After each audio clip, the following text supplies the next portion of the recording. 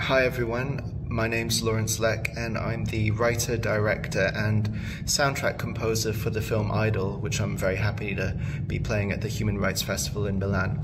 Um, I'm going to just talk briefly about the relationship of the human and AI, or the human and algorithm, that's the subject of my film. So Aidol is the sequel to a 2017 CGI film I made called Geomancer, which is about an AI satellite who comes down to Singapore in the year 2065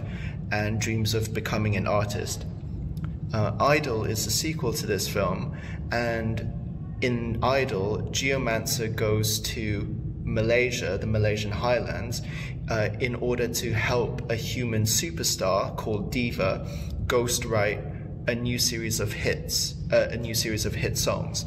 And so Geomancer and Aidol are both about the relationship between humanity and AI and also between human creativity and machine creativity.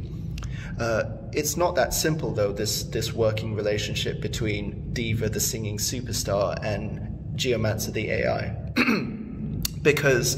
in the future, in this fictional world, there's been uh, a new law called the anti-AI law, in which AIs are forbidden from doing creative tasks like writing songs or making art or uh, anything like that.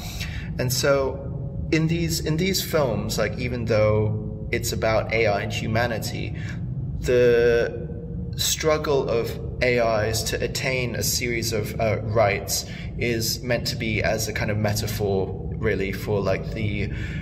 different ways in which human rights are, I mean, even in the world today in 2021, are unequally spread throughout uh, different parts of uh, the world, in different ethnic groups, different minority groups, different genders, different, so many different factors that come into play. So I was interested in using AI as a metaphor and as a symbol really for a new group of emerging people who don't actually uh, have rights at this moment and it's wrapped up in a story that's very much about music and the way that uh, music and art actually have many different geopolitical uh, ideas embedded in them and how they're created. Thank you, and I hope you enjoy the film.